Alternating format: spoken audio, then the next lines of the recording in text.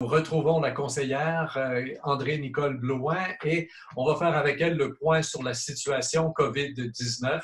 Euh, il y a à la municipalité un nouvel employé euh, qui va être en charge de nettoyer, de désinfecter les différentes installations publiques. Est-ce que, Madame Blouin, est-ce que c'est une obligation qui vient du gouvernement ou si c'est simplement là, en réaction finalement à, à, la demande peut-être de citoyens de se sentir un peu plus sécurisés euh, et, de voir que les installations sont nettoyées de temps en temps? Euh, non, ce sont des directives spécifiques du euh, gouvernement. Alors, nous avons dû embaucher une personne, la personne de Thomas Coulon, c'est un étudiant, qui est engagé pour trois heures par jour, six jours par semaine.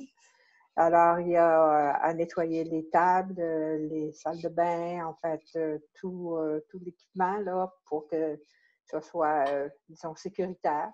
Alors, ça fait partie de son travail. Et si jamais il y a du temps de plus, de libre, la directrice générale pourra lui donner d'autres petites tâches.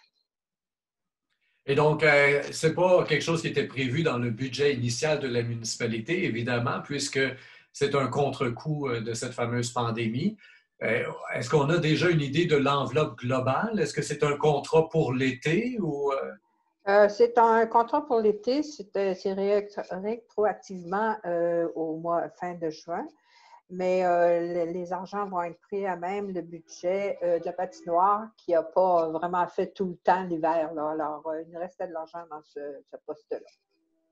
Parfait. Et euh, donc, les gens vont pouvoir le croiser. M. Coulombe est là, euh, est, déjà en poste, d'après ce que je comprends, puisque c'est rétroactif au 20 juin. Oui, il est déjà en poste, puis euh, il fait bien son travail. Alors, il commence le matin de bonne heure, puis trois heures, mais après, il s'en va, puis il revient le lendemain.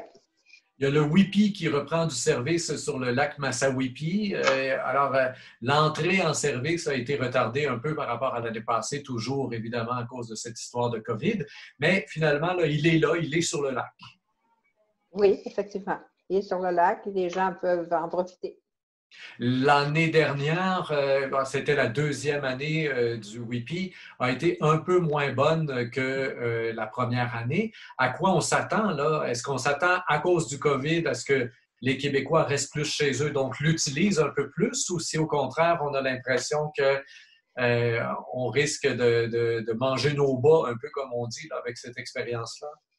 Un peu le secret de Polichinelle. Hein? C'est un peu partout. On ne sait pas trop, trop euh, qu'est-ce qui se passe et qu'est-ce qui va arriver dans certaines situations. Alors, on verra à la fin de l'été. On comprend une chance euh, avec le, le WIPI là, de se dire ben, espérons que les gens soient présents finalement. Exactement. Et euh, pour conclure, bien, vous avez reçu l'autorisation du gouvernement du Québec pour siéger en public lors de l'Assemblée du mois d'août. Euh, ce sera une première depuis quelques mois. Là. Vous allez pouvoir, donc les gens, les citoyens vont pouvoir assister à la réunion. Exactement. Alors, on va être heureux de les accueillir. Ça fait longtemps qu'on les a vus.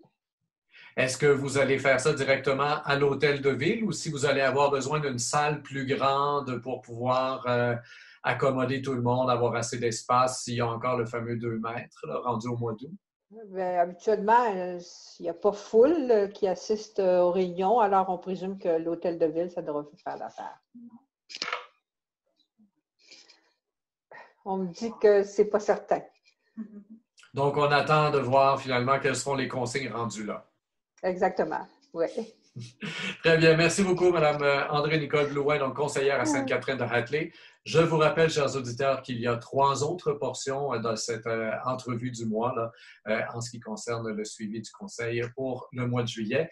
Je vous souhaite de bonnes vacances pour cet été. Au microphone fait relâche pour le mois d'août.